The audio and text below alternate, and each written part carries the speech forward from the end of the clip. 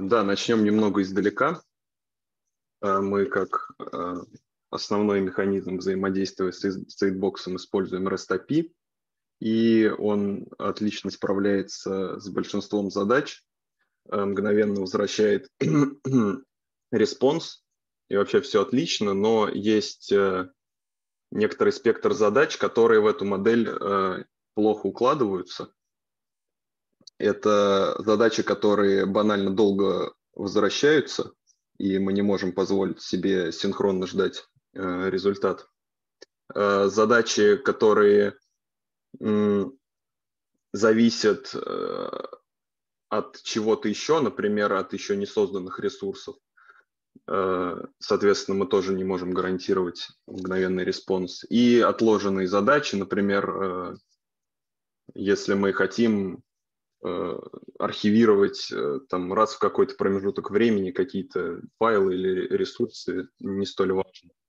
И, собственно, здесь мы приходим к нашему workflow engine. Именно такими задачами мы будем работать на уровне Workflow Engine мы выделяем две абстракции. Это таска как э, некоторая атомарная операция и Workflow как абстракция более высокого уровня, которая управляет уже тасками. Э, из чего, собственно, engine состоит? Э, у нас есть две API, это Task API, Workflow API – Э, они э, отвечают за запуск, управление жизненным циклом э, каждой из двух абстракций. У нас есть SDK, который позволяет workflow и таски имплементировать. И у нас есть сервисы, которые на данный момент по большей части представляют дополнительные возможности для запуска тасок Э, начнем с э, к SDK сервисам вернемся позже. Э, в общем, таски и task API. Что они делают?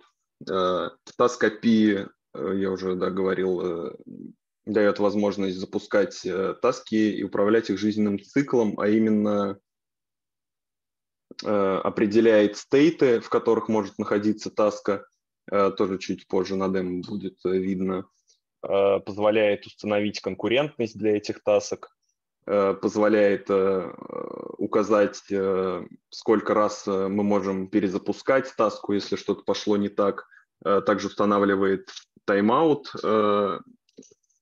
то не дает таски зависнуть навечно и забыться.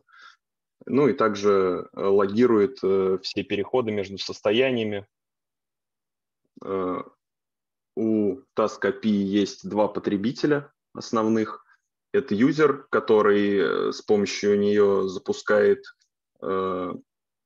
таски или workflow и канцелит их по сути. ну и статус может узнать. Это, собственно, все взаимодействие юзера, Task API. И также есть task-экзекьюторы, которые непосредственно выполняют операции, э, которые определены в тасках.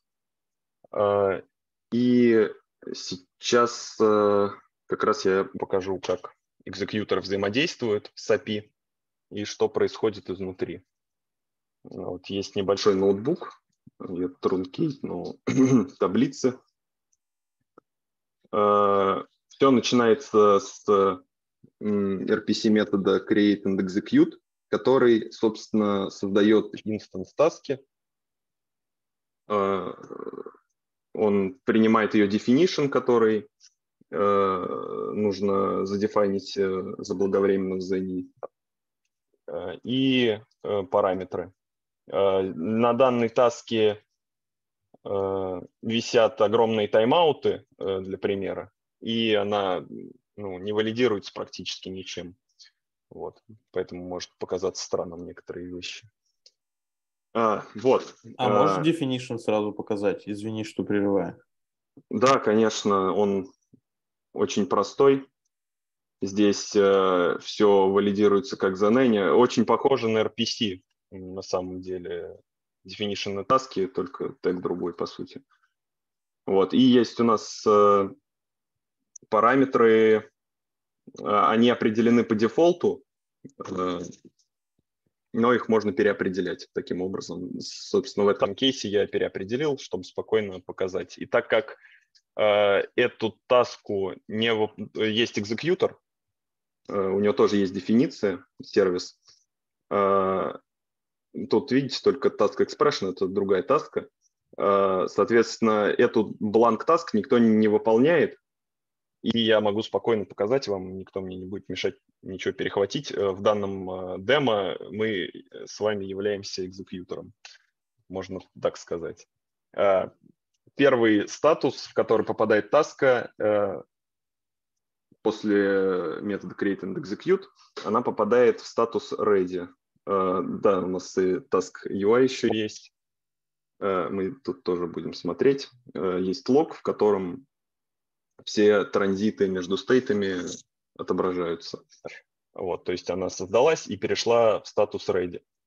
Статус ready значит э, то, что таска готова к тому, чтобы э, какой-либо из экзекьюторов э, ее забрал. Как, какой, какой-либо из воркеров экзекьютора или могут быть разные экзекьюторы. Не так важно. Да, вот тут метод э, task status. Мы можем в любой момент отследить из него статус. Вот. Что должен сделать экзекьютор, когда...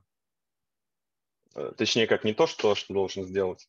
Э, экзекьютор прокидывает... Есть два метода. Poll и long poll. Экзекьютор прокидывает метод long poll, который делает poll, когда какие-то таски попадают в статус ready.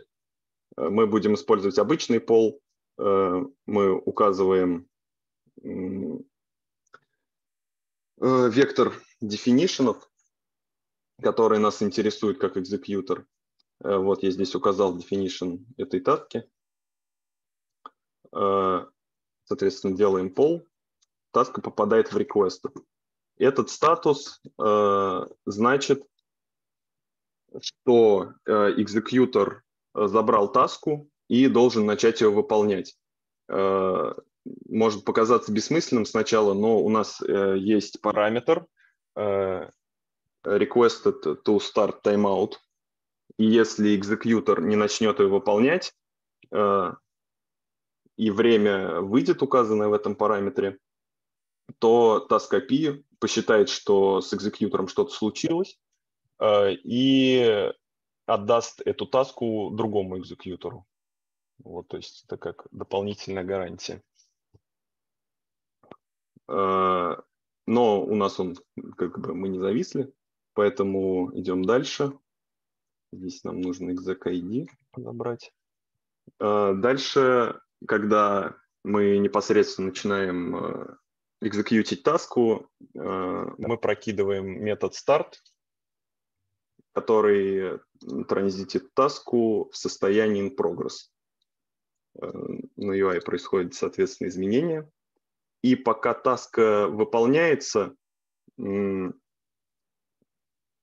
необходимо, как экзекьютору, периодически посылать э, notify, э, чтобы у таски есть параметр in progress timeout, и когда он истечет, таска перейдет состояние fail а, то есть э, завершится с ошибкой о том, что тайм-аут вышел. И чтобы этого не произошло, нам нужно продлевать тайм-аут, и это как раз делает метод notify.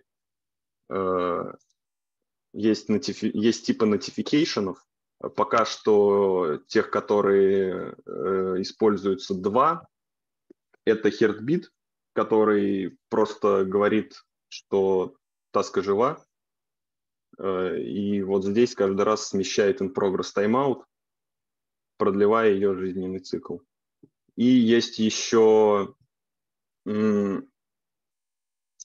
notification э, progress. Он В нем можно указать, э, в каких э, единицах измеряется что-то и сколько этого было выполнено. Звучит не очень, но э, можно будет увидеть на UI здесь, как прогресс-бар двигается. Вот. После того, как таска завершена, мы кидаем метод success и таска попадает э, в состояние done. Э, у состояния done есть три ауткама. Э, Это succeeded, то есть успешно выполнено, failed, по разным причинам может быть. И есть еще, я забыл сказать, здесь все это время была кнопка cancel. В любой момент, пока задача не попала в статус done, ее можно прервать и тогда она попадет в статус дан с outcome cancelled. Вот. И это, собственно, дефолтный э, флоу, э, по которому все таски проходят после того, как запущены. Так, двинемся дальше. Э, у всего, э, то есть таски э, являются отличным механизмом, но есть одна проблема.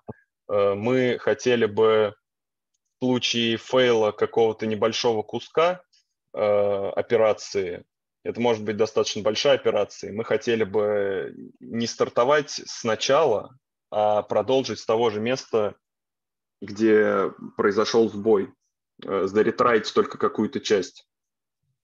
И для этого, э, собственно, нужен workflow.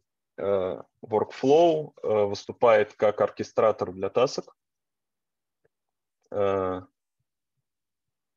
Когда мы думали, какую архитектуру выбрать, было два варианта. Первый вариант – это как некоторый процесс, Э, который запускает таски и ждет их выполнения, то есть процесс э, постоянный. Но это достаточно дорого для масштабирования, потому что это могут быть не три таски, а может быть другой workflow, в котором еще другой workflow, и тогда это станет очень ненадежным и неудобным. И это сложно имплементировать. Э, мы выбрали другой подход. Э, по сути, workflow в этом подходе – это процесс не постоянный, а процесс, который э, запускается после завершения каждой запущенной им таски и продолжает исполнение с того места, где он остановился в прошлый раз. То есть, если мы запустили таску э, и ждем ее выполнения, э, никакой код не выполняется в этом workflow. Э, по сути, за это отвечает decision таски. Э,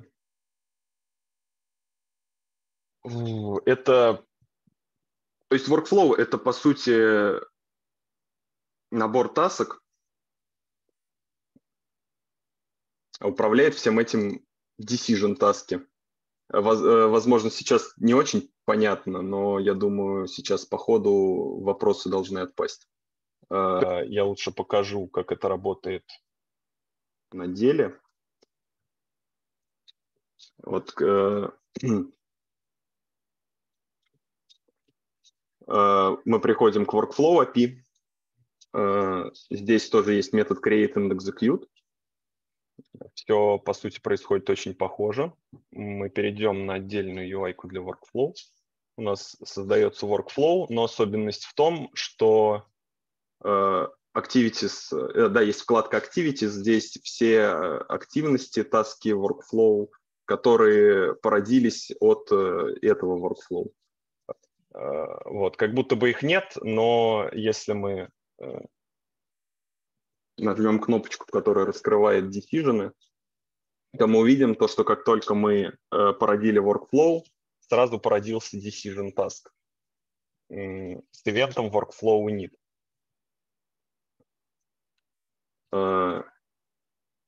Decision таски выполняет отдельный экзекьютор.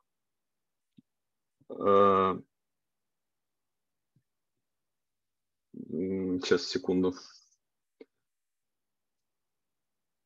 Да, и он полит их. Здесь мы уже указываем workflow definition, соответственно, сполятся все таски, все decision таски, у которых реквестером является наш workflow. Вот, собственно, сполилась вот эта таска, которую мы видели. Она перешла в request. Это все так же, как с task API происходит. Вот. И так же, как с task API, нам нужно после того, как мы спорились, стартануть ее. Но важно то, что когда мы будем переводить ее в дан э, с успешным выполнением, мы должны в контексте workflow и decision task э, положить в результат э, некоторый action. Здесь может быть сколько угодно экшенов. Э, есть разные экшены. Э, пока что рассмотрим э, schedule task. Он, если мы хотим в контексте workflow запустить новую таску, мы пишем action schedule task и кладем task request, как если бы мы вызывали метод create and execute у task API. Здесь у меня для примера имплементирована очень простая таска, которая принимает операцию и два операнда и высчитывает. Э, неважно абсолютно, как она работает. Э, как только мы ее запустили, переходим обратно в workflow. А мы ее не запустили, извиняюсь.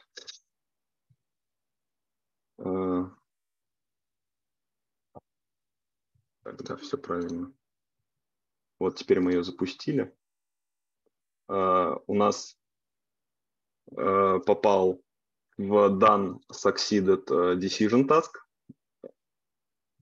И также запустилась таска. Э, у нее уже есть экзекьютор, поэтому она выполнилась сама. Все эти транзишны между стейтами прошли за кадром. И как только она выполнилась, порождается новая decision таска. И мы в контексте workflow должны ее сполить и так далее, и так далее. И этот процесс цикличен, пока все таски, которые мы породили, не выполнятся, э, тогда мы э, на последнюю decision таску должны ответить экшеном complete workflow, который, собственно, закомплитит workflow и поставит результат. Сейчас я прогоню быстро этот процесс.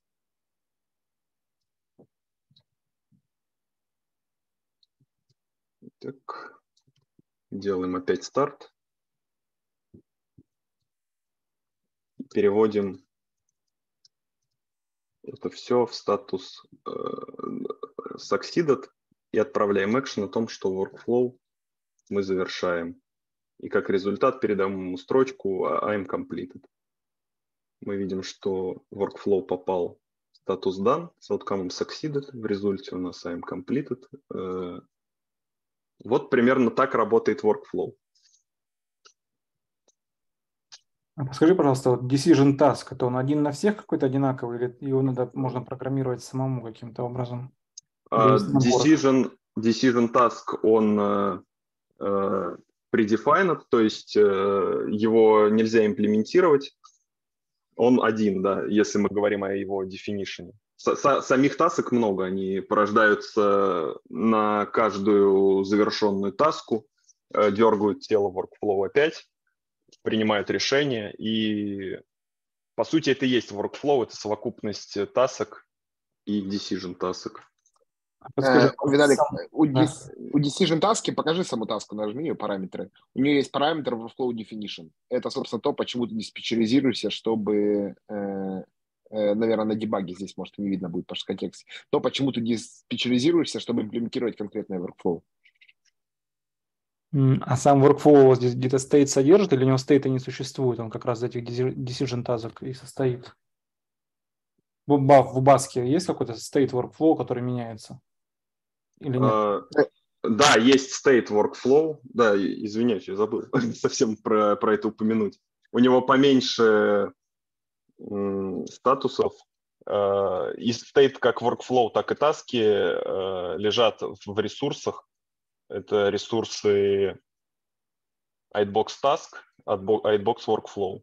Также эти логи, на которые мы смотрим, это тоже отдельный ресурс. Mm-hmm. Вот. И у Workflow гораздо меньше статусов, так как всю необходимую информацию э, и state, всю необходимую информацию хранят таски, и state, собственно, уже регулируется тасками, поэтому у Workflow есть смысл только в трех состояниях. Это created, in progress и done. Все. Ауткамы точно такие же, как у таски. Угу. Мы думали и думаем еще добавить возможность сохранять э, некий произвольный стейт. Э, это несложно, но пока на это не было запроса, пока идея то, что весь стейт хранится в тасках. Возможно, если будет четкая задача где-то будет необходимо, мы можем это добавить. Имеется в виду, что сейчас есть стейт э, его выполнения, статусная модель, параметр результат. Возможно, добавить некий произвольный стейт. Пока нет. Вот, если у кого-то есть вопросы по workflow, э, думаю, мы можем немножко времени сейчас уделить, э, потому что сейчас мы пойдем дальше в сервисы. И э, думаю, если не, касая, не касаясь имплементации, э, касательно стейтов, decision тасок, э, задавайте сейчас. У меня есть вопрос. Да, давай. Есть стрелочка из decision task в workflow execution. Да а кто к кому в итоге ходит и опрашивает.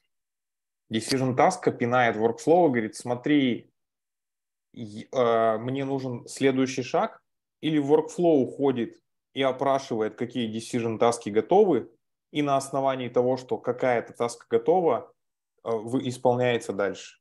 Ага, смотри, э, когда мы делаем create and execute, самое первое что происходит, порождается первая decision task. Ага. У нее event workflow need, это означает, ну, что она первая, да. Она пинает э, тот код, который заимплементирован э, под э, символом этого workflow. Э, этот код, в этом коде есть запуски тасок.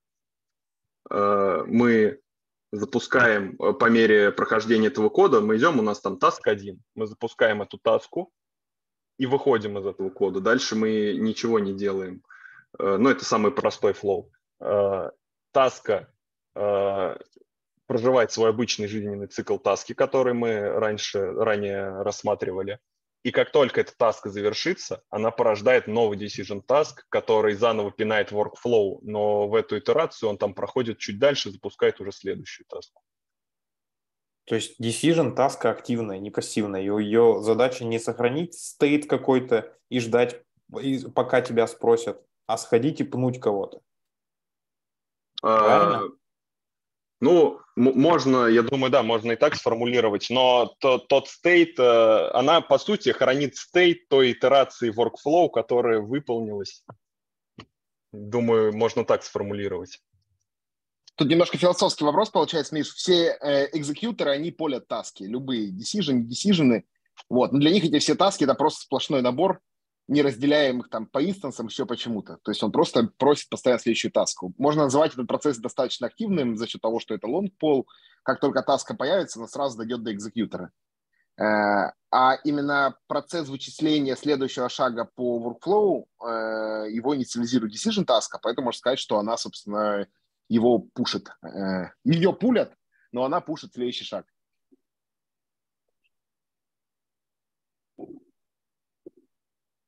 Получилось ответить на твой вопрос? Или остается yeah, непонятно? Ладно, приду потом.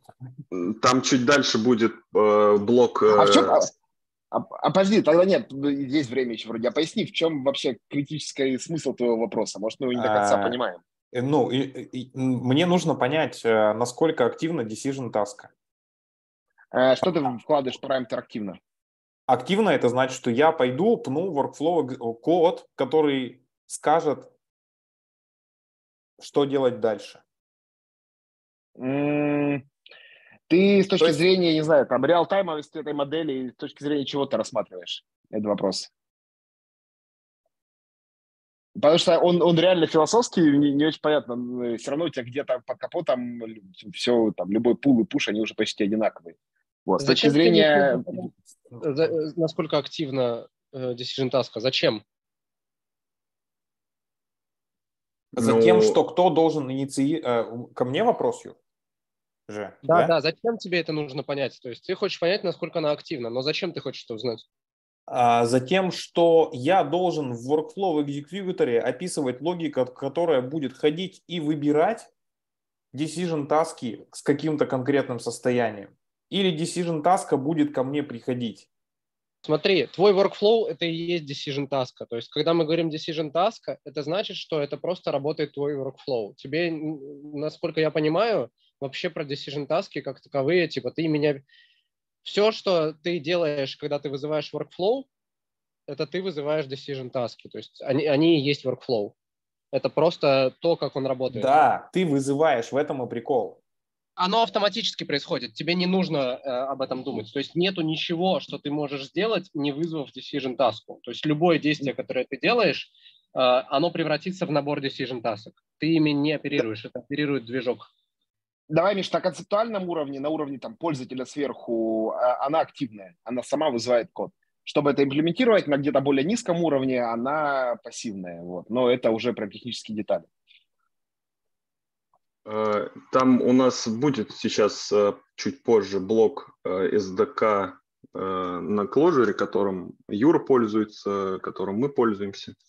Там есть схемка, возможно, она ответит на твой вопрос.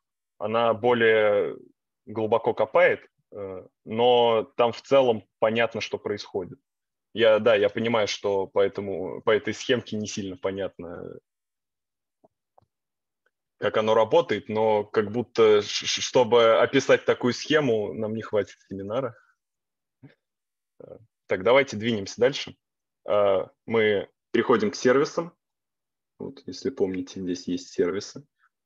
Да, вот тут еще на схемке был VSL э, для описания workflow. Он пока за кадром, мы держим его в уме, но пока не имплементируем. Э, вот. Э, subscription Trigger сервис, один из двух существующих на данный момент сервисов, э, позволяет подписаться на обновление ресурса и запустить таску, когда условия будут соблюдены.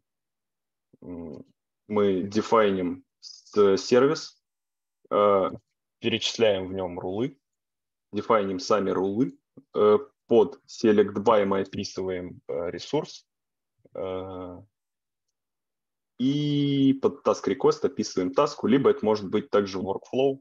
Э, на уровне вызовов все, о чем мы говорим в engine, может запускать как таски, так и workflow. Я сразу оговорюсь, чтобы потом к этому не возвращаться. Вот. Ну, по сути, у нас срабатывает хук, который пинает проверку рулов. Если ресурс подходит э, под rule, то мы вызываем create and execute. Если нет, то ничего не делаем.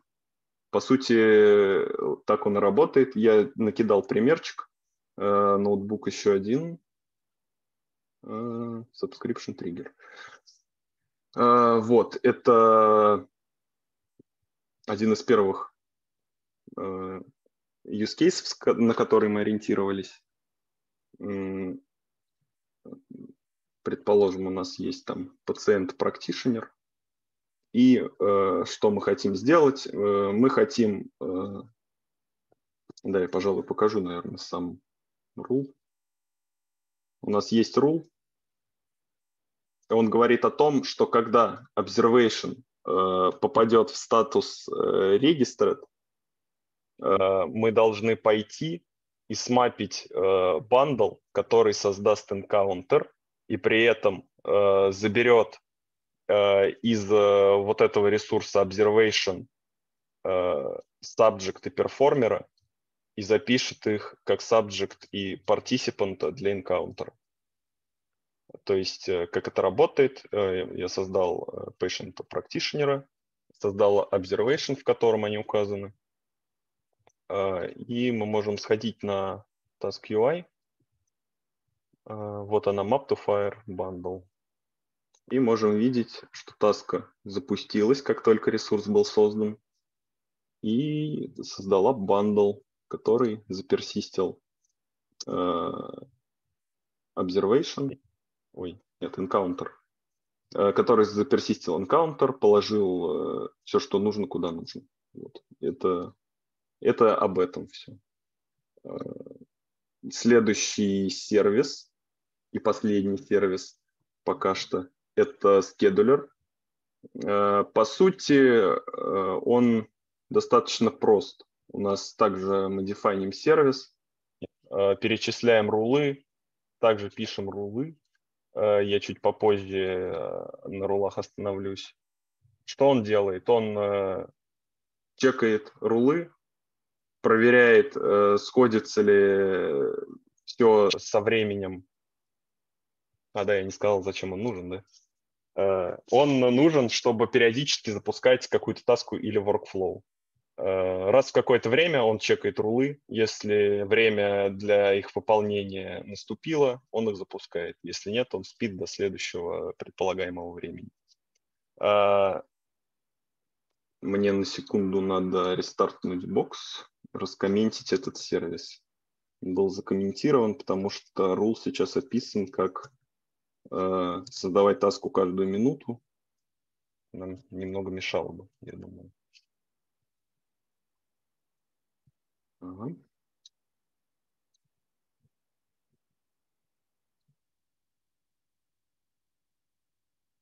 Так, у нас, э, как только мы подключили сервис, у нас появляется еще одна UI, -чка, scheduler. Э, здесь у нас появляются все рулы, которые мы описали.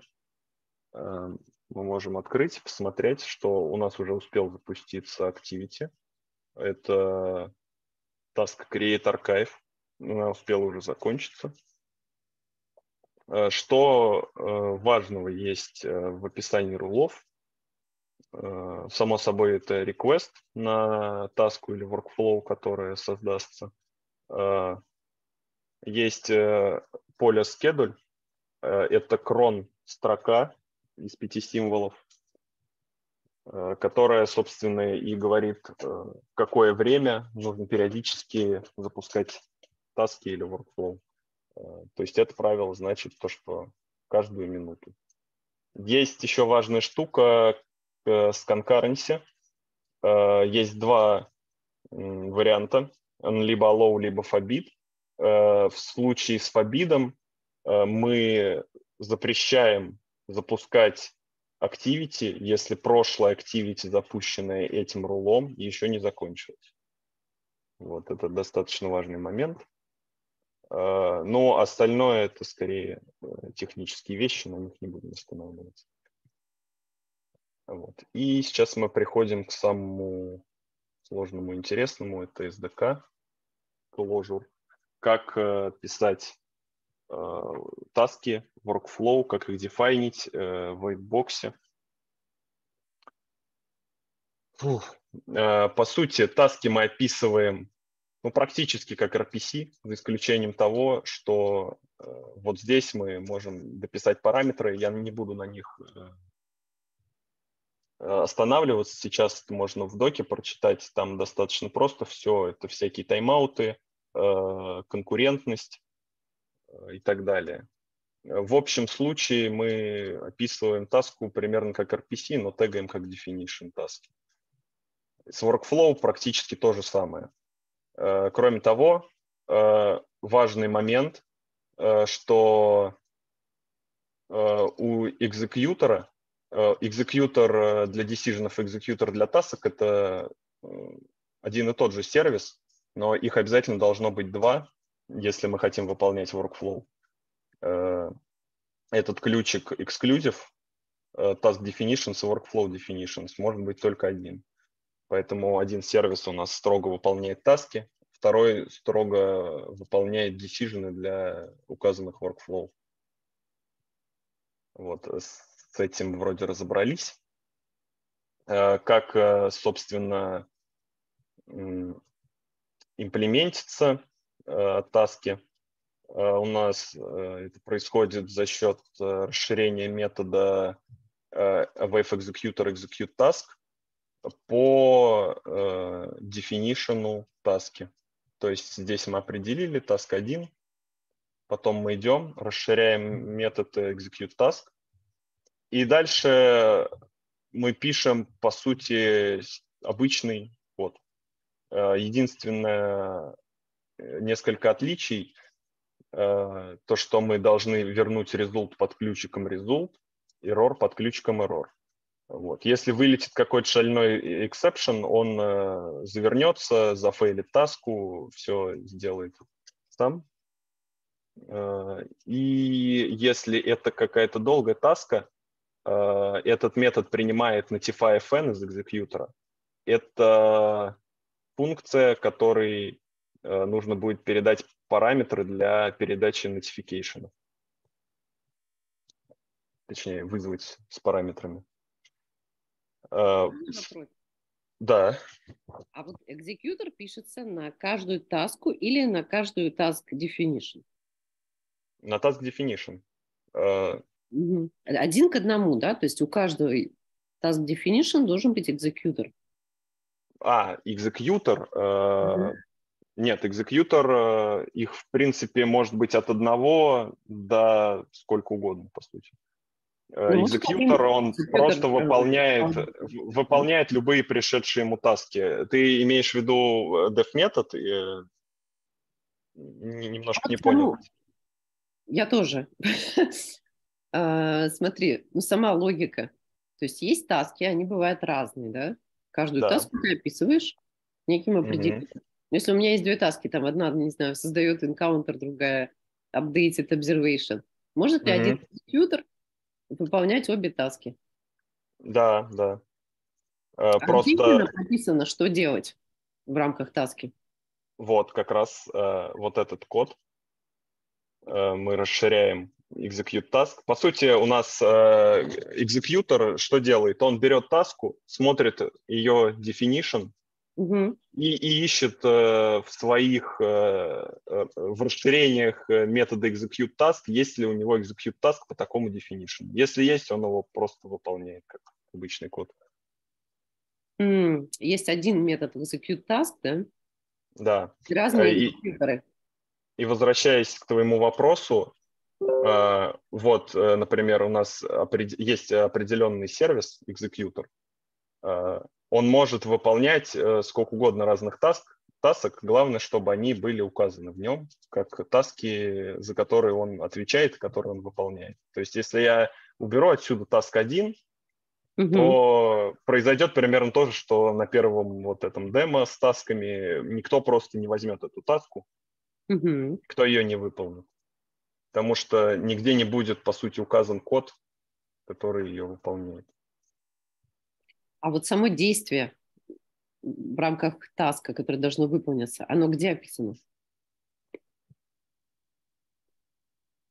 Вот, например, ну, самый простой тут полупсевдокод, конечно, но вот, по сути, мы э, берем keyword hello, делаем из него стрингу и отдаем как результат. Вот, по сути, это то, что мы делаем в рамках этой таски.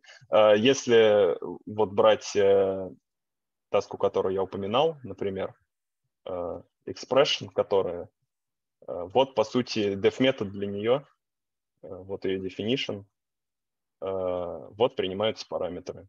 Вот, вот это отсюда начинается сама таска, то, что мы выполняем. мы смотрим в зависимости от переданной операции, выполняем ее и отдаем результат. Вот здесь. То есть, по сути, это функция, просто завернутая в некоторые абстракции. А, то есть есть один метод execute task, но у него разные параметры? Да, да. Даешь экземпляр метода, да, с другими параметрами? Да, да, да. Угу. Вот. И самое тяжелое начинается, когда дело доходит до workflow. Оно выглядит как синхронный код обычный, но все не так просто. У нас есть макрос dev workflow. Мы используем его, когда хотим определить workflow. И в рамках workflow мы работаем, э, в рамках workflow мы запускаем таски.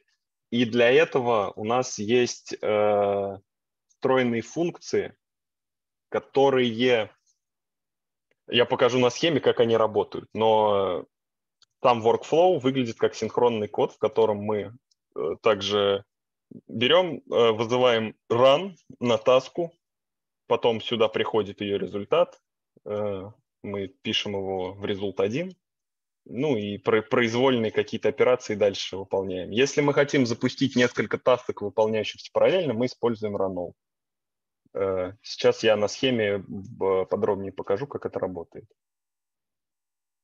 Все-таки workflow вот. это набор тасок уже определенных? Ну, определенный workflow, набор определенных тасок.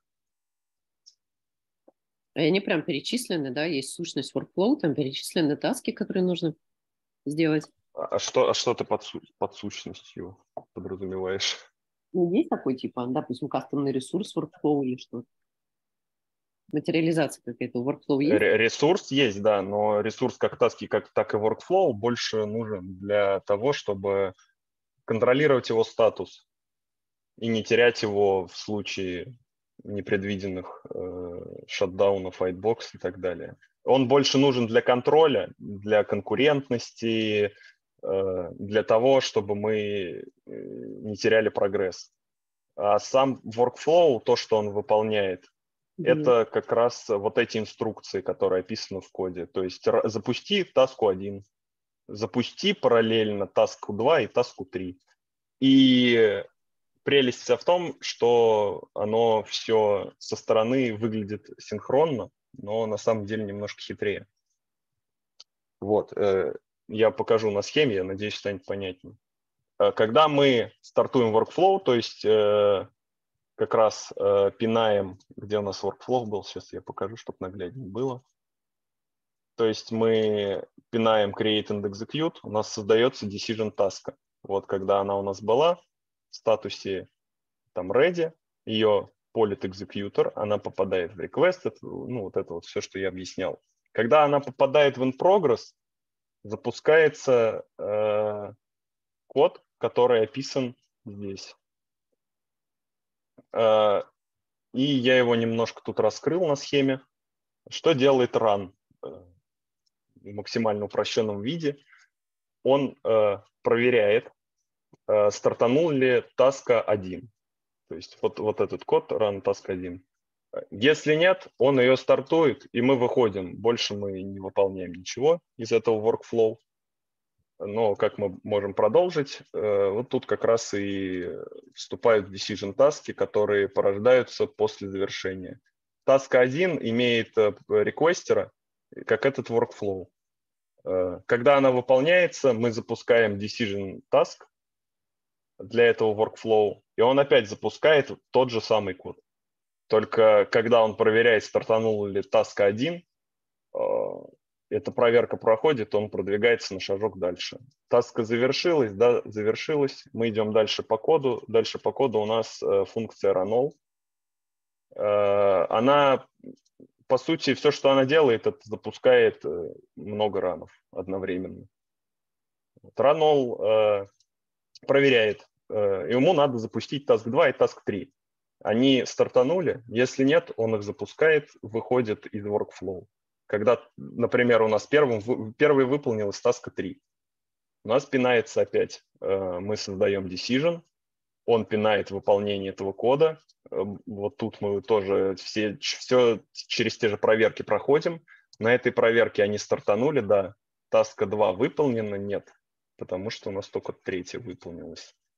Э, мы выходим, да, кстати, я обещал про экшен рассказать, есть экшен э, do nothing, который как раз э, ничего не делает и ждет просто, когда следующий decision пнет workflow. То есть просто выходит. Мы выходим с этим э, экшеном, и когда уже таска 2 выполнится, она пнет decision execution, ну, э, создаст decision таску, мы опять зафорсим выполнение этого кода, опять пройдем через все проверки, но когда э, мы спросим, выполнили, выполнена, выполнена ли таска 2, да, выполнена, и таска 3 тоже выполнена, потому что до этого нас уже об этом оповестили. И мы синхронно выходим из workflow, возвращаем э, action complete workflow с результатом. Как мы поняли, что workflow закончился?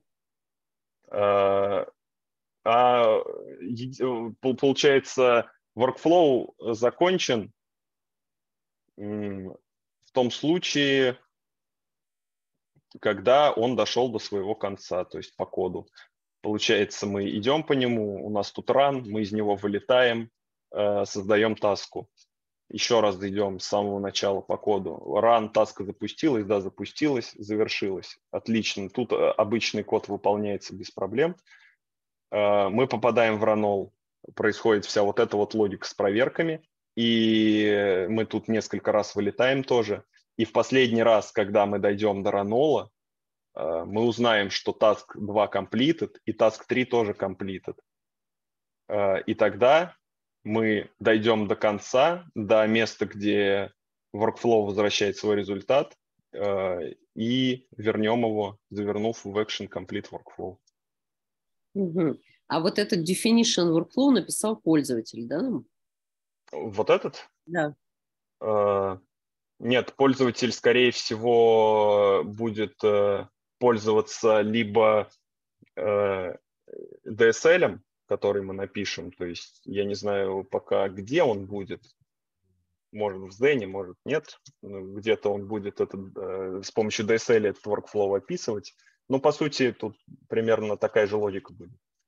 Либо есть, э, ну, мы поддерживаем такой вариант, у нас э, делают ребята из ДК на JS. Сегодня мы его не будем касаться. Это тема для отдельного семинара, наверное. Э, но когда будет SDK э, для JS, которое, оно позволит э, вот эту логику заимплементить отдельно на любом, ну как на любом, на JavaScript, либо, в принципе, можно на любом языке программирования ее заимплементить, это будет просто сложнее для клиента. Но за счет того, что workflow и task API, вот эта вся машина контролирования стейта – Э, за счет того, что это API, э, клиент, в принципе, может что угодно реализовать и просто общаться с API-шкой. Слушай, я есть... правильно э, понимаю, что у тебя этот dev workflow, который макрос, он у тебя будет вызываться, ну, результат его каждый раз на, после каждой decision таски. Сверху проходить вниз, и у него как будто будет какой-то стейт, где он будет знать, какие таски выполнены. Правильно это утверждение? Или нет? А, и а да, и нет. Ага, окей, давай. Э, он, э, он э, не хранит как таковой стейт того, где он остановился. Стейт, стейтом является опрос то, то... Что? Еще раз. Ну, опрос базы данных уже по факту.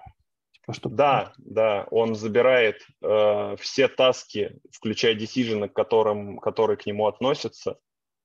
Э, если технически говорить, мы их э, в KTX, по-моему, передаем, если я правильно помню. У него есть все эти таски, и на момент, когда decision task его пинает, он знает, что закончилось, а что нет. Он каждый, каждый раз просто сначала начинает выполняться сначала, Э, доходит до того места, где, которое он выполнил, если он упирается куда-то, где таска еще не законченная, то он на ней останавливается. Ну или если там много тасок, то на многих тасках. Но так, да, этот код заполняется столько раз, сколько было запущено тасок, точнее, два раза больше. Поэтому он не может понимаю... иметь себе сайд-эффектов. Ага. Правильно понимаю, если надо будет тоже подобное сделать через SDK, то там, наверное, будут какие-то промисы с какими-то колами синхронными. Или асинхронными. Да, Вместо, ну, Видимо, да, но это, наверное, вопрос к ребятам из СДК, как они в итоге реализовали. У себя не смогут, у них, у них, по сути, это немного чего есть. Как бы. А в смысле, а у них есть все то же самое? Э, у, у них нет тебя, макросов. Ну, у них нет макросов. Они, им придется то, что здесь просто синхронный код, им придется во что-то оборачивать, или во вейты А слушай, а там макросы не сильно нужны на самом деле. У нас макрос, по сути, просто оборачивает его в э, другую функцию, которая ловит исключение. Э, весь state control сделан через исключение. Я не вижу проблемы сделать то же самое на другом языке. Может быть, не будет dev workflow такого красивого, но все равно будет функция, которая выполняется в другом контексте, которая ловит исключение. Короче, я не вижу проблем сделать это на любом языке. Clojure позволяет это сделать просто немножко более красиво. Угу. То есть надо понимать, что вот эти все функции run, они управляют потоком выполнения. В идеале, если было бы go-to в языке Clojure, было вообще бы замечательно, но вместо go-to используется exception – который вызывателем этого, этой функции отлавливается и понимает, э, дошли ли мы до конца или мы ожидаем какое-то следующее действие. Угу. Окей.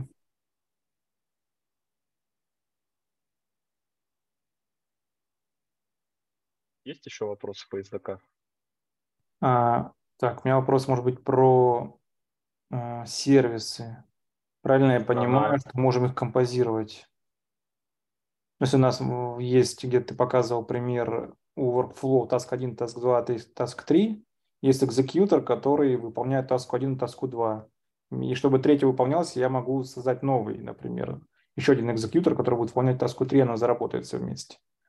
Да, да, ты по, по сути можешь сделать э, вот примерно вот так вот, взять отсюда таску 2, Э, отсюда выпилить таску 3, таску 1, и они будут также работать абсолютно. Угу. И, сказать, что, и сказать, что эта таска у тебя будет 10 потоков, пошли очень много, ты, и не Ты даже собирать. можешь, да, ты можешь даже не париться, сделать вот так, и оно все равно будет работать. Просто какой-то экзекьютор выцепит и, ну, таску 2 первым. Окей, тогда вопрос следующий. А, а что послужило основанием вообще вот экзекьюторы при, привязывать таски к экзекьюторам? Зачем это может быть нужно? По-моему, мы решали проблему конкурентности, если я правильно помню. Ну, как ну, раз ответ, который я привел. Ты хочешь таску в 10 потоков одну э, гнать. Тебе надо как-то сказать, что экзекьютор выполняет э, какие-то таски. То есть у тебя, по сути, таски к экзекьюторам не привязаны, у тебя экзекьюторы э, сообщают, какие таски они будут выполнять. Больше ничего. Тасков про экзекьютора ничего не знает. Да, но получается, у тебя какой-то уже есть библиотека, которая в себе, ну, зеновская, да, она может экзекьютор уже какой-то иметь, и в ней зашиты таски, ты не можешь ее как бы проапдейтить, она будет, по сути, свой новый делать и оверрайдить все, что тебе нужно, правильно? Э, такая штука. Слушай, но, это, это проблема Зена, ты же ее никак вообще не решишь. Э, ну, в смысле, э, у тебя есть дефолтный конфиг hitbox, в котором перечислены все таски. Вот, он там переменное окружение включается-выключается. Вот, ты можешь его выключить. А, нет, даже не так. Если пользователь указал свой сервис вручную, по-моему, так запрограммирован, тогда дефолтный не работает. Э, вот, соответственно, ты или используешь дефолтный Matebox EDN сервисы, вот он, или указываешь свой э, экзекьютор сервиса, тогда дефолтный не работает. То есть я могу при запуске таски выбрать экзекьютор сервис, если у меня есть пачка их. Правильно? Не, не, при запуске таски ты ничего не можешь. При запуске 8box ты можешь сказать, с каким а. экзекьютором сервисом 8box стартует. Таска, опять же, ничего вообще не знает про экзекьютора. Если не будет никакого экзекьютора сервиса, то просто таска не будет никем выполняться но она будет все еще стартовать и в рейде висеть бесконечно. Ладно, пока хватит, потом еще, может, позадаю вопросы более подробно. Ну, на самом деле, это на SDK мы закончим. Здесь э, просто для обобщения все, что мы прошли. Э, подытожить э, можно, что workflow task API отвечают за стейты, конкурентность, за адекватное поведение. Экзекьюторы э, экзекьютят, э, сервисы позволяют э, использовать таски в каких-то интересных cases. Вот. Ну, теперь все вопросы давайте, какие есть. А может таска быть сама по себе без workflow? Да, да, конечно. Ну вот как раз э, у меня, кстати, тут есть еще один ноутбук, который э, с точки зрения юзера более понятен. Task Expression. Вот как раз та таска, про которую я говорил, один плюс один. По сути, если я пользователь, я хочу просто запустить таску, я иду, пишу post RPC, create and execute, э, говорю, какую таску я хочу запустить, передаю параметры. Тыкаю, запускается. Потом я могу либо тыкнуть кнопку статус, посмотреть, что она succeeded, либо пойти в Task UI, найти эту таску здесь, посмотреть результат, параметры, лог. Да, кстати, я не упоминал, у нас есть еще дебаг кнопочка. Вообще она скорее для клиентов на случай, если какой-то workflow или таска развалится. Тут вообще вся информация, есть весь полный лог, э, чтобы нам можно было это скинуть, мы бы уже потом разобрались. Вот, ну, надеюсь, ответил на вопрос. Да, на таска самостоятельно. Угу. Ну да. И подскажи вопрос еще про subscription. А как оно, например, внутри работает? Вот вы там а... subscription какой-то написали на ресурсе конкретно, или там ну, у вас матчер есть специальный DSL? Как а... оно?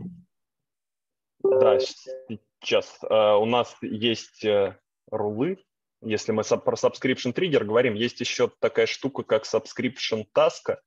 Она используется в контексте workflow и подписывается на ресурс, и пока mm-hmm Э, этот ресурс э, не будет создан или заапдейчен до того состояния, на которое она подписалась, она будет в инпрогрессе э, и потом попадет в дан. Это нужно как раз, чтобы вот эти вот циклы контролировать, и мы можем типа зависнуть в workflow, пока какой-то ресурс не создастся.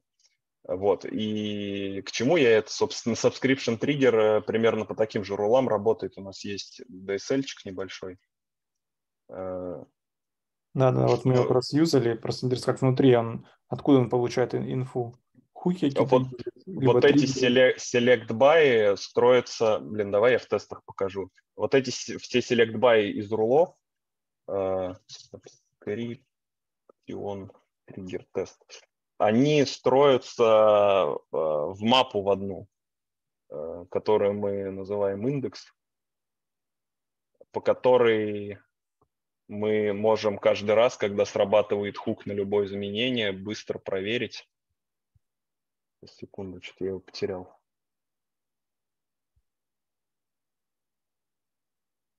Он в другом тестике, по-моему, rule тест. А, да, rule selector, что-то, да, rule selector тест. Вот, да, как раз rule selector namespace, да, это отвечает. Э, вот это собирается вот в такую вот э, достаточно здоровую структурку, если у тебя много рулов. Uh-huh. И по ней можно быстро проверять. То есть у нас тут складывается там, по уровню ресурса, например, у нас есть несколько подписок на encounter, Дальше, э, э, если у нас есть э, у нескольких getIn и Q, они тоже складываются по ключикам. И так до, собственно, task definition. То есть там, если меняется какой-то ресурс, у нас есть хук на изменение, он, вы на него как-то подписываетесь, он дергает ваш true и говорит, вот типа новый ресурсик обновленный, да, и вы начинаете его матчить. Так происходит? Да, да, да. А, С этим есть, на самом деле, две проблемы большие. Первое, что мы их храним в памяти, все, э, все rule ы, все subscription ы, потому что в базе индексом эту операцию не покрыть, и долго будет, она выполняется на каждое изменение. И так как она хранится в памяти, их невозможно синхронизировать между разными репликами. То есть первая проблема в том, что в мультиреплика режиме э, это работать не будет, точнее, будет работать неправильно. А вторая проблема с тем, что если хук по какой-то причине не сработал, упал или пришел апдейт из базы, то тоже subscription провалится. Это как раз к вопросу, который ты вчера спрашивала э, в чате. И ответ на это предполагается, когда мы реализуем subscription топики, которые будут э, реализованы через Capture Data Change из э, логов базы, вот, то это будет абсолютно надежное место, где мы в одном потоке, в одном трейде можем рассматривать все изменения ресурсов. Это будет с небольшой задержкой, но со всеми гарантиями. Слушай, вопрос, не понял про реплики. Почему в реплике? Реплика базы будет, да? Ну, Aidbox к обоим имеет доступ? Или просто не У тебя нужно, тебе, тебе нужно, получается, вот этот индекс всех rule ов поддерживать э, синхронизированный в двух инстансах. И в общем случае практически невозможно. А он не, ну, без на старте координации. создается? Не при старте? При старт, он при старте создается, но в процессе у тебя каждый workflow может... А, это касается именно subscription таски. Subscription trigger ага. просто, да. Э, он э, не мутабельный, он постоянный. А subscription task это значит, что в любой момент времени у тебя любой workflow может потребовать подписку на какой-то ресурс. Э, Юра как раз на этом механизме строит сбор графа зависимости для этого, uh-huh. для XFL. То есть у тебя в рантайме меняется набор subscription task, поэтому здесь проблемы этого конкурентного изменения появляется а, всех полный рост добавлю еще один вопрос. По-моему, я вам задавал еще раз, э, чтобы удостовериться. Правильно я помню, что, например, у меня subscription есть, да, мне ресурс там patient, и я на какое-то поле, например, там его какой-то статус подвязываюсь. И если ресурс patient поменялся, например, один раз, и у меня сработал мой триггер, и потом ресурс patient поменяло что ну, поменялся что-то другое, не, не то, на что я подписался, но другое, ему имя поменяли, пофиксили. Но он, получается, матчится, он еще раз отработает, правильно? Мой subscription. Если поменялось конкретно Для... это поле, а что-то другое, но уже он все равно матчится. Для триггера, да, триггер будет каждый раз э, описывать, это уже придется тебе в, э, в этом в предметном коде описывать. Для subscription таски они все одноразовые. Э, после того, как она выполнилась, она перестала существовать. Вот, второй раз уже она не триггирует. Тебе надо будет на изменение подписываться, создавая вторую таску. Ага, то есть там не приходит какой-то div, типа было так, стало так. И ты можешь типа на div только сказать, что если вот именно оно переключилось, только тогда отрабатывать. Такого э, невозможно. Слушай, но это невозможно сейчас. Мы сильно этим не занимались, потому что это ага. все э, часть э, спеки, которая описана в файле subscription, topic-based subscription. Там мы это все равно будем прорабатывать во всех деталях. Он отвечает на все эти вопросы. Пока это была скорее такая proof of concept. Потому что здесь много ненадежности и много проблем все, что связано с сабскрипшенами, будет решаться в отдельном треке. Uh-huh. Topic-based subscription э, дает ответы на все вот эти вопросы. Там достаточно гибкий механизм, как ты можешь э, описывать, на что ты будешь триггериться. Okay. И последний вопрос. А, не думали о какой-то типа таски, типа, которая просто вызывает RPC-ку, generic? Типа любую теперь RPC-шку можно вызывать асинхронно. Там ее шедулить. Да, даже, даже задачка есть. Э, вот, если вдруг тебе надо это быстрее, чем мы дойдем до этой задачки, скажи, на самом деле недолго должно быть. Угу. Кажется, там мощь прям лежит в этом месте. Сразу увеличим юзабилити системы в разы. Да, да. Там, ну, там формат одинаковый э, у RPC-шки и у таски, поэтому там, по идее, вообще должно быть на час задача. Ну, подумать немножко, какие там могут быть подводные камни и красиво как вызов сделать. Потому что иначе получается парамс, которых будет парамс, вот это меня пока смущает, вложенность. Угу. А суть этого какая? То, что таска просто вызывает некий RPC стандарт? Ну да, да, у тебя есть RPC, считай, библиотека RPC-шек. Как тебе получается надо каждый раз таску оборачивать? Ты хочешь вызвать RPC, например, там, делать, генерировать какой-нибудь отчет и складывать CSV там на FTP-шечку и ты хочешь, чтобы, например, чтобы она работала раз в сутки, не дергать это руками, а сделать шедулинг таски. И тебе придется таску писать. А так, в принципе, если эту штуку поддержать, ты у тебя все библиотека твоих RPC получают еще в свое владение асинхронность и шедулинг бесплатно. То есть сейчас тебе конкретно нужно таску эту расписать, да, заново. У тебя уже есть такой RPC, да? Ну да, ты пишешь таску, которая просто будет вызывать внутри себя эту RPC и уже складывать результатики. Да, по сути, можно сделать какой-то дженерик, как-то ее обдумать, чтобы красиво была пишечка. И да, и просто уже по сути ну, вызываешь таску как RPC, только с какими-то ключиками особыми. И можешь ее скедулить, можешь из workflow из них делать. И кажется прикольно. У тебя есть кирпичики, и ты кирпичики собираешь в одну большую штуку. Это не всегда будет матчиться, там, например, в workflow, наверное, как у результаты таски не всегда будут матчиться с входными параметрами следующей. Надо как-то матчи делать. Но в целом... Ну, там же, тебе же матчи ты делаешь их кодом, э, поэтому ты можешь их делать как хочешь. Э, краски пока... за счет того, что ты workflow описываешь кодом, у тебя да. проблемы э, с интеграцией разных кусков нету. Да, вот. это пока, Там пока. Ск- скорее идея, проблема в том, что все этот, любую RPC-шку можно сделать таской, но не любую RPC-шку, таску можно сделать RPC-шкой, потому что длинные, долгоживущие, они там должны как-то себя пронотифицировать, поддержать живыми. Да, вот. Да. Но, если, но если это работало этой э, таской, то оно будет жить. Там есть еще один механизм, который э, про Notify э, Никита сказал, что таска должна себя в живой поддерживать. Вот. Для этого есть два механизма, именно когда мы говорим про клажур SDK. Первый – это код таски может вручную вызывать Notify и говорить, что, типа, я, не знаю, сделал 200 миллионов ресурсов из 100 миллионов. Uh-huh. А второй механизм – это э, по умолчанию он работает. На тред, который запускает execution конкретной таски, поднимается еще один тред, который просто проверяет первый тред, что он живой, и раз в половину э, TTL оповещает ее, что она живая. Uh-huh. Вот. Поэтому в этом плане даже долгоживущие RPC-шки все равно будут работать. Вот. Просто что у них не будет там какого-то понятного человека считаемого прогресса, но падать по тайм-аутам они все равно не будут. Так что ничего сложного для этого нет. Uh-huh. Можно, нужно, нужно будет сделать. Uh-huh. Единственное, что нам э, нельзя э, разрешать дергать сам таск, э, сами RPT-шки task и workflow из workflow. Ну, запретить ты этого не можешь. Э, вот. Под ответственность разработчика можно делать все, но надо понимать, что этот код будет называться миллион раз. Ну да. Ну да, так, ну, типа, так же от, таску, которая создает таску и создает таску. Без RPC можно в кольцо войти. Угу. Ну, как бы для, если надо таски, порождающие таски, это workflow. К этой функции нужно просто как к апдейт функции атом относиться и помнить, что неизвестно, сколько раз она будет вызываться.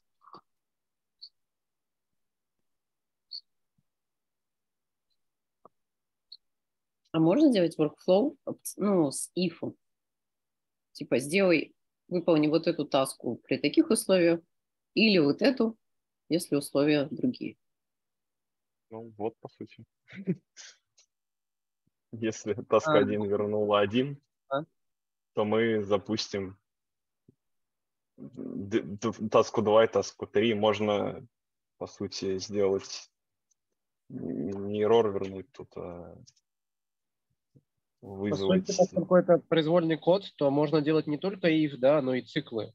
То есть ты можешь сделать типа циклы, типа сделай его 10 раз, или, например, можно сделать реакции, то есть на основе вот этого результата сделай вот такую цепочку действий, а на основе, делай это до тех пор, пока не получишь какой-то результат. То есть можно разное программировать. При этом таски имеют тайм-ауты. Предположим, тайм-аут у таски 30 дней, у тебя будет workflow быть вида «отправь э, notification клиенту».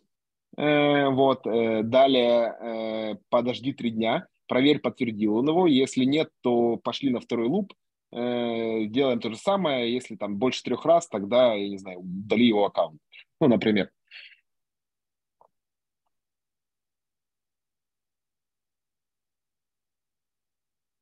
А как на какой-нибудь твилио можно вписать в этот флоу? Да. Ну, в смысле, а... у тебя будет таска, которая send twilio, э, вот, и workflow будет вызывать эту таску.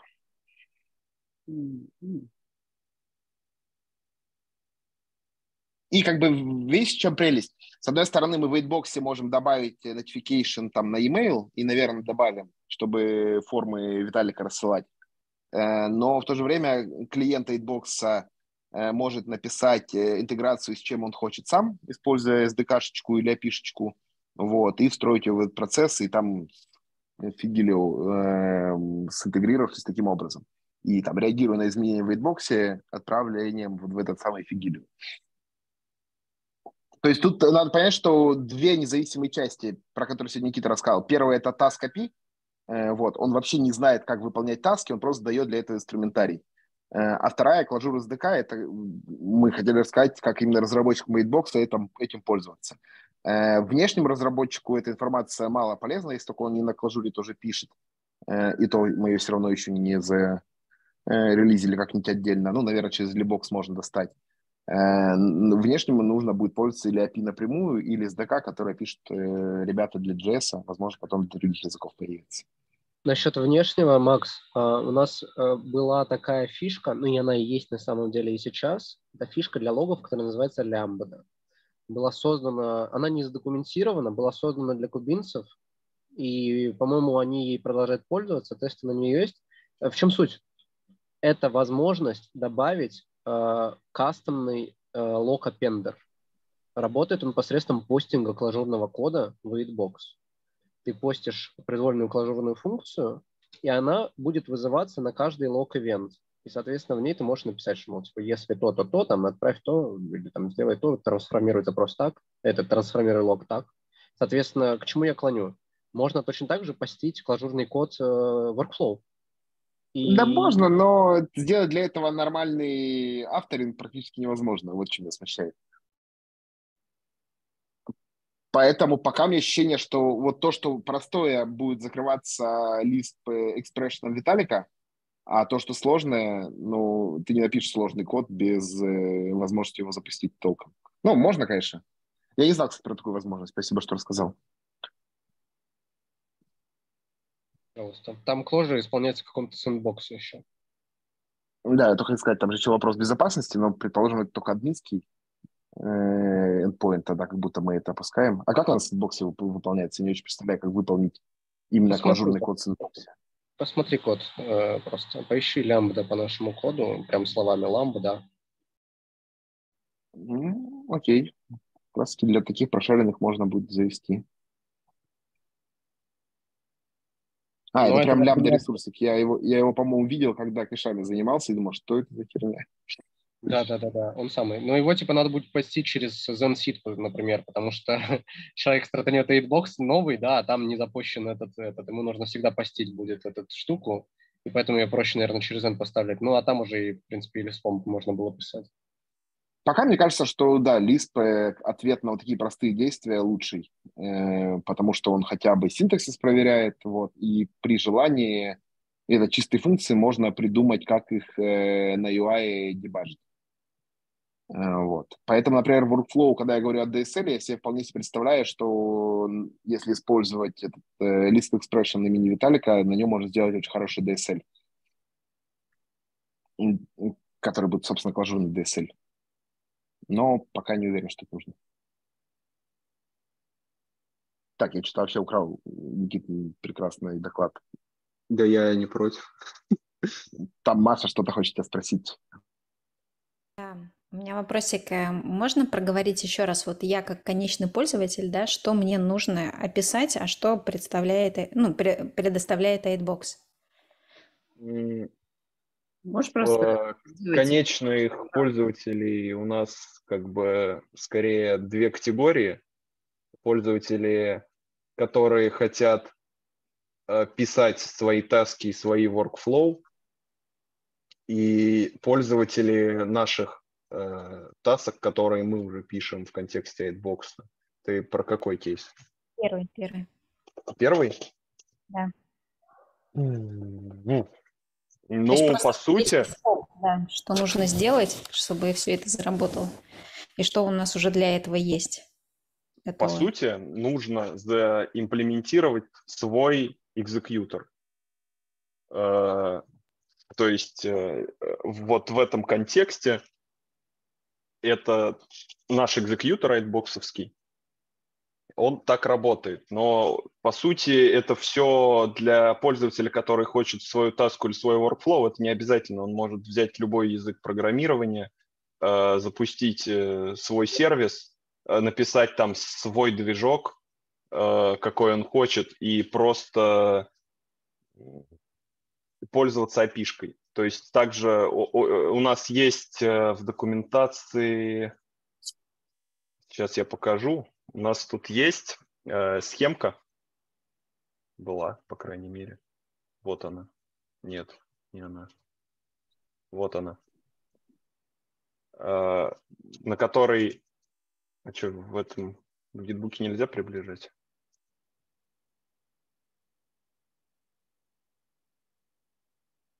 Похоже, нельзя. А, да, я ее, по-моему, где-то тут оставил. Вот она. А, у нас есть такая схемка как раз в разделе имплементации своего workflow. Она более подробная. Вот это, по сути, наш API. То, что она делает, она как раз создает все инстансы, она э, их меняет, она их отслеживает. Э, что нужно сделать юзеру, чтобы написать как таску, так и workflow? Ему нужно реализовать экзекьютор, э, который э, сможет э, правильно общаться с нашей API-шкой. То есть он то, также должен полить таски, также должен э, оповещать, э, кидать notification, все, чем мы сегодня занимались, э, по сути, может быть реализовано на стороне, на любом языке программирования и может крутиться в сервисе у клиентов и исполняться у них же. А Aidbox при этом будет пользоваться результатами этой активности и Э, знать о том, в каком состоянии эти таски находятся и предоставлять интерфейс. Надеюсь, ответил. Ну, наверное, executor одного мало, да? То есть он еще должен описать таски, описать workflow. Не, ну са- сами таски, да. Ну, в самом простом случае, э- если совсем на коленке, это может быть просто таска, который общается с workflow. То есть экзекьютор это все-таки что-то переиспользуемое многими тасками, но по, по идее можно написать одну сплошную таску, которая делает это все в твоем же коде. Вот. Ну, то есть э, реализация полностью остается на клиенте. Главное, чтобы оно поддерживало принципы работы с API. Маш, кажется, если по шагам прям четко, то нужно сначала открыть Zen проект и описать там имя таски и параметры, которые она принимает, результат, который она возвращает, и через SDK или API написать код, который бизнес-логику этой таски реализует, или workflow. Э, причем часть definition в Zen, она пока обязательная. В принципе, мы думали о том, чтобы сделать ее не обязательной. Это возможно вполне, но мы пока классический вопрос типизированный, не типизированный язык программирования, не знаем, стоит ли это убирать или нет. А definition мне нужно будет только для таски и workflow описать, да, Зене? Ну да, у тебя больше ничего и нету, по сути. Э, ну, типа две сущности, task, workflow. Э, тебе может понадобиться еще описать сервис, если ты хочешь как-то автоматизировать их старт. Но в минимальном случае, если ты стартовать его будешь тоже через API, через нажатие кнопочки на UI, тогда, да, только писать ее дефиницию. Подожди, а если я хочу сервисами пользоваться, я их тоже должна описать, да?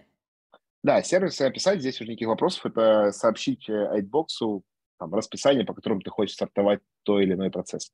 При этом процесс у тебя может выполняться э, на твоем, твоим кодом, написанным на твоем языке программирования в твоем рантайме, но Aidbox будет сигналить ему, когда пора запускаться. Поэтому mm-hmm. сервисы, они отделены и опциональны. Decision task я тоже описываю? Нет, Decision task это часть э, э, механизма workflow, который уже описан. Но ты описываешь workflow. Как бы, когда ты описываешь workflow, регистрируешь дефиницию workflow, э, это получается теперь Decision task знает, что она может для такого workflow создаваться. Угу.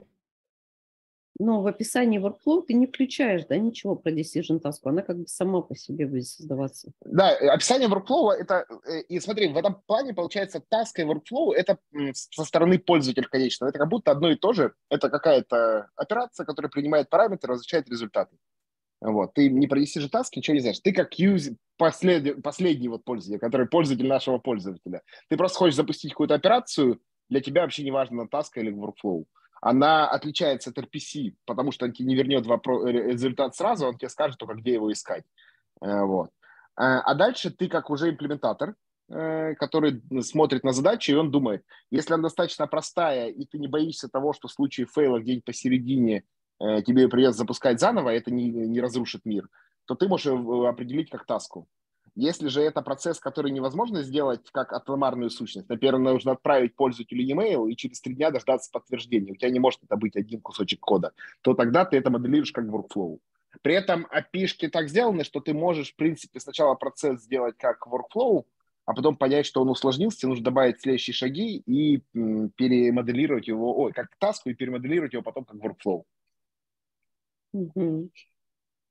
А, и при этом э, в 8box э, в своем definition workflow не знает ничего про то, как он будет выполняться. Там нет таких шагов, они не, опис, не описаны. То есть, есть, помнишь, у ребят в, в Logic был подход, когда в Zen-проектах хранился длинные-длинные портянки этого бизнес-процесса. Вот. То есть там workflow описывалось как данные целиком, и весь его долгий мучительный процесс. Мы, может быть, придем к этому постфактум потом, но мы как бы зашли с другой стороны, что у нас э, в изначальном варианте нет ничего про имплементацию. Она появляется на уровне SDK, в том числе и клажурного, но сам engine про нее ничего не знает. Поэтому там многие класс проблем за счет этого решается, версионирование, еще что-нибудь. Это все просто как обычный код. Ну, ты можешь потом пойти на UI, куда инбоксы фильтрануть все таски по workflow ID, посмотреть, да, как выполнялись таски. Да, ну, Никита это долго показывал в процессе, да. О, кстати, вот версионирование задел этот вопрос такой. Как у вас про миграцию вообще все? Давай пока опустим его. Сложный вопрос, уже полвосьмого. Ладно. Но думали, да? Или еще не, не дошли нам подумать? Ну, так, э, скорее э, заметки оставляли на будущее.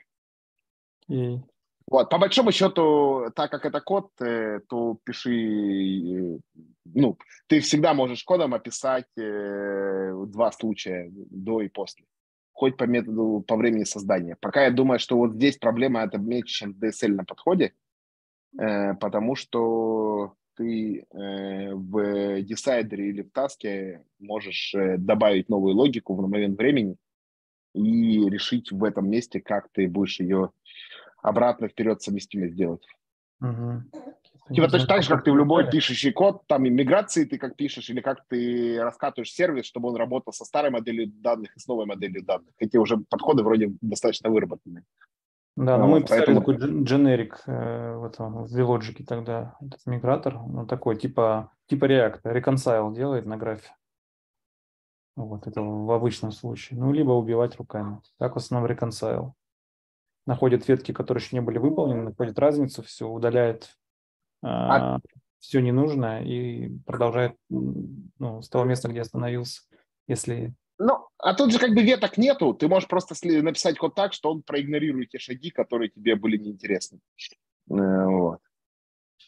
Э, поэтому здесь в этом плане проще. Тут Никита не показывал на э, примере, э, где в workflow в детали не хотелось уходить, но по факту у каждой таски есть параметр обязательный лейбл. Вот. Это уникальный айдишник таски в рамках workflow. Вот. Это тот механизм, как э, workflow понимает, что эта таска была запущена или не была запущена. Вот. Ты можешь э, в какой-то момент переписать код и сказать, что вот все предыдущие таски, они мне больше не интересны. Просто удалить эти лейблы и запустить новые. И тогда все те workflow, которые уже были запущены, но пошли дальше, они просто продолжатся ну, так, как ты укажешь. Короче, миграция, по идее, здесь будет намного проще, чем э, с подходом с DSL, когда тебе надо прям данные промигрировать. Ты мигрируешь только код, э, ну, на данных может. не отражается. Ну, тут как, у тебя единственное, что в твоем случае только в один ты можешь в один момент времени иметь только один workflow. А с миграцией у тебя, если их несколько инстансов запущено, которые уже месяц идут, еще месяц будет идти, ты можешь из них частично промигрировать, частично нет, что тебе нужно. Что мигрируется самый а, definition в базе. Так, а ты, а не... ты, ты же можешь прямо вверху десайдер написать кейс. Если таска создана после, то такой код, а если до, то такой код. Вот. И, и все. Вот. И задеплоить его, и он будет работать по-разному для разных workflow. Ну, то есть, получается, часть, часть этой миграции Сейчас. Типа миграции данные тебе не нужно, тебе нужно только миграции кода. Ну, в смысле, переписать код. Сделать его так, чтобы он учитывал твои новые изменения и те временные рамки, когда ты хочешь это изменение вести. Ну, то есть ты его, ты его а, отдал в user space, просто получается. Ну, по сути, да. Угу, окей. Ну, пока не встретили, это понятно, да. Тут ну, решать да, предугадать такую проблему практически невозможно и сложно. Вот, я технические решения вижу, ну, просто потому что это такая же проблема, как возникает э, при работе с миграцией данных. Ты написал миграцию э, своего сервиса, но ты раскатываешь их постепенно, и тебе нужно научить его работать с двумя версиями твоей модели данных. Как бы этот подход, э, к нему выработано уже решение. И вот он здесь такой же за счет того, что ты отдельно, собственно, код пишешь от данных. Но это я теоретизирую. По факту, вот, не знаю, сейчас, может быть, Юра столкнется с этими проблемами. И расскажет.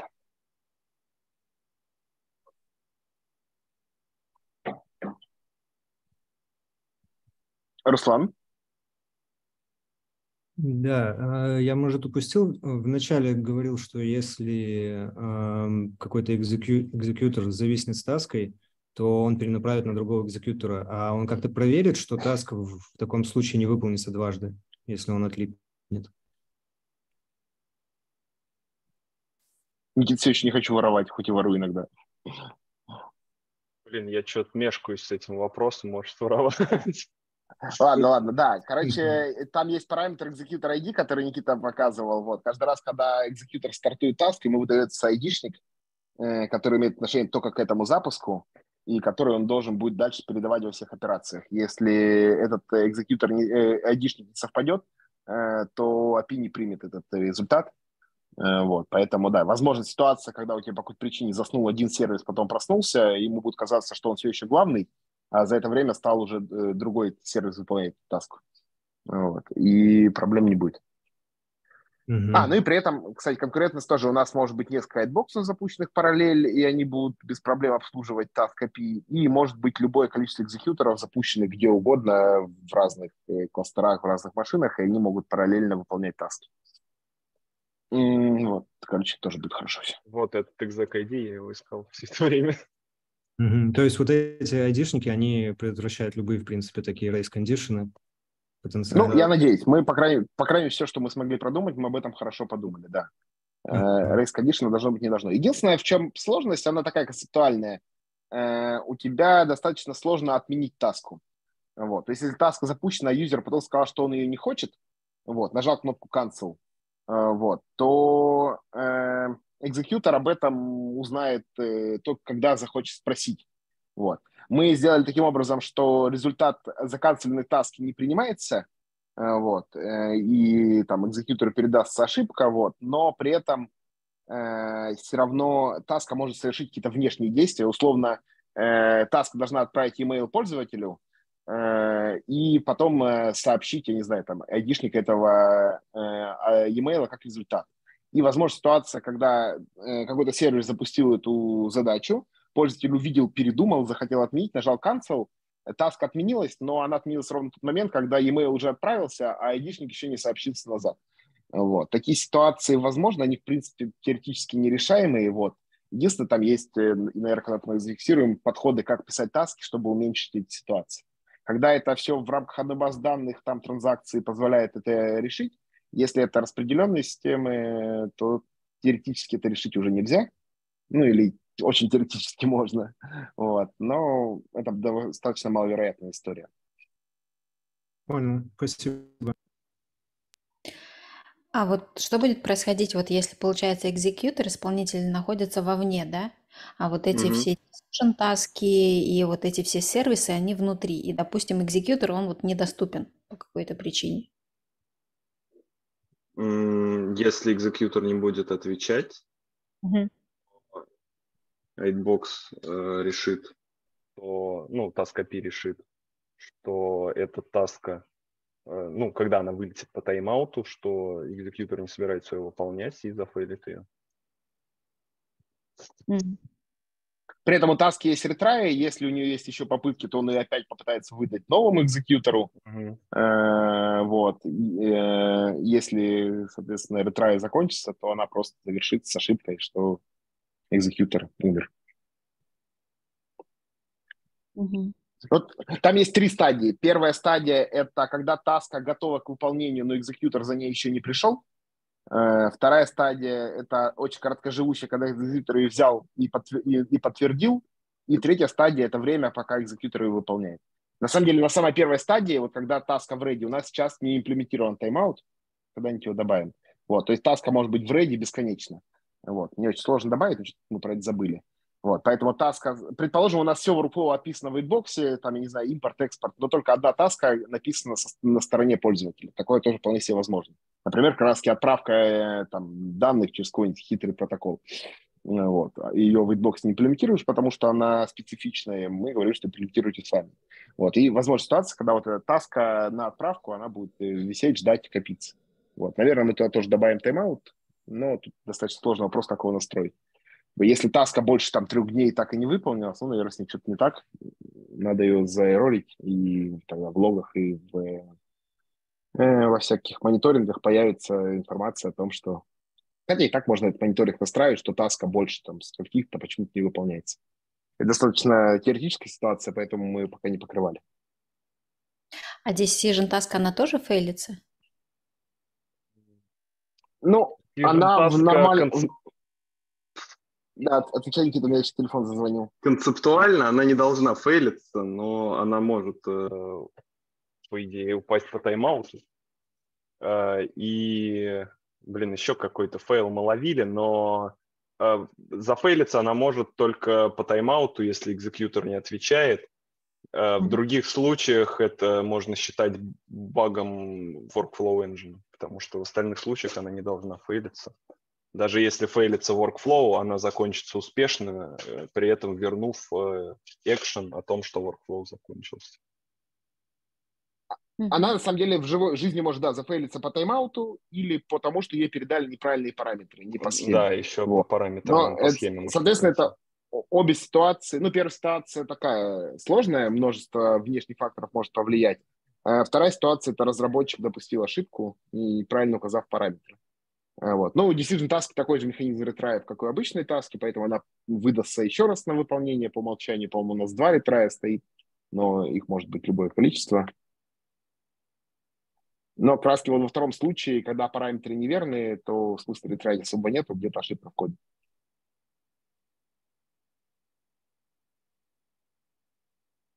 Угу, ну что, спасибо. не пора ли нам заканчивать, а то уже что-то ночь ночная.